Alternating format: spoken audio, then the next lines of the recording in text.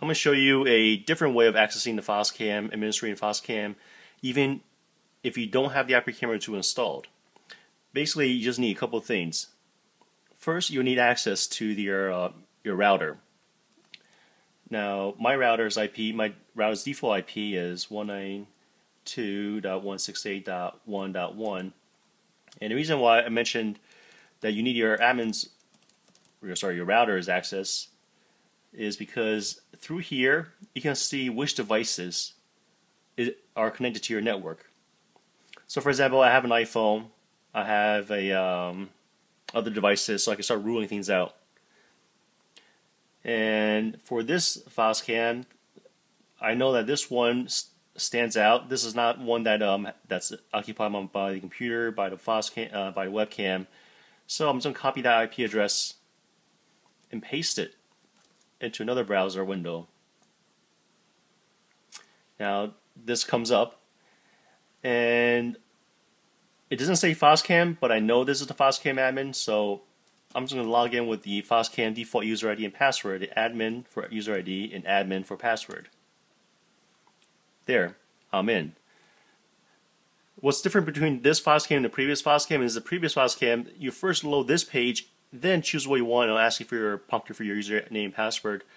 For some odd reason now, they'll prompt you for your username and password first.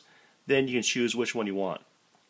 So, uh, mentioned before, the model I have here is the FI9820W. This is the HD FOSCAM, the 1 megapixel camera.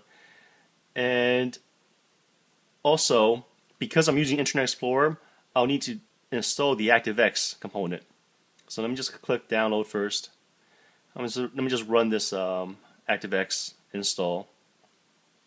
This ActiveX install seems a little bit bigger than the other previous ones. The previous one for the MPEG model FOSCAMs, like the 10W, 18W, those were, you can install like that, it's very quick. Let's go through this setup, install, yes. This ActiveX install is only used by Internet Explorer Whereas if you were to either use Firefox, Chrome, Safari, you're going to need to install QuickTime because of the H.264 encryption. Alright, I'm going to click Finish. Okay, now that that's been installed, I'm going to click Login.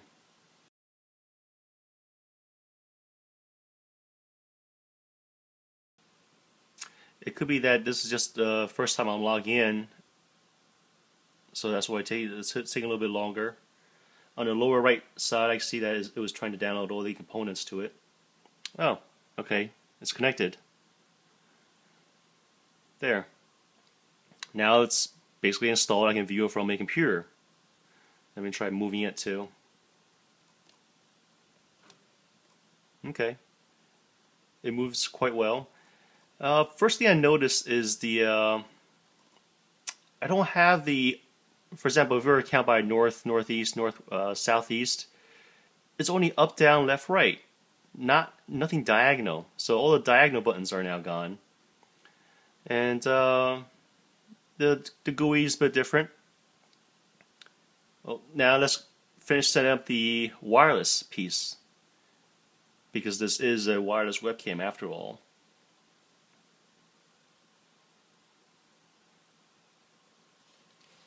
Alright, so the wireless enable, I'm going to enable my wireless. I'm going to search for the SSID, which is basically your wireless network name.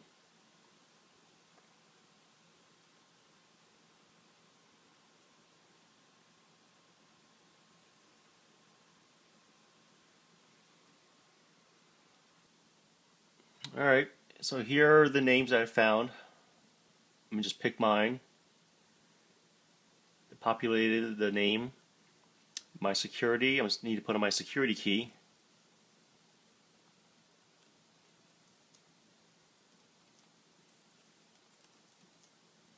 And again,